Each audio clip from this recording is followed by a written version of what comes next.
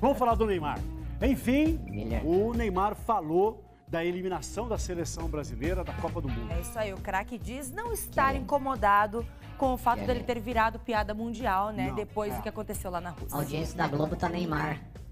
Acompanhado pela namorada, a atriz Bruna Marquezine, Neymar tratou de rebater as críticas sobre as quedas durante os jogos. Tentou afastar a fama de Kaikai, que ganhou força na Copa da Rússia. Quanto ao que falaram, eu tenho que levar na, na brincadeira, né? Eu sou um. Eu sempre fui assim, um atleta que levou as coisas na boa, né? nunca vou discutir nem com ninguém por causa disso. Mas o meu jeito de jogar é o mesmo, desde sempre. Para o amigo e companheiro de Paris Saint-Germain, Daniel Alves, o jogador foi injustiçado. Normalmente, criticar o Neymar, ou criticar jogadores desse nível é fácil, difícil é fazer o que eles fazem, como nessa ocasião. Em uma noite de gala com direito a tapete vermelho, Neymar recebeu cerca de 700 convidados, entre atletas, artistas e empresários, para o segundo leilão beneficente do Instituto Neymar Júnior.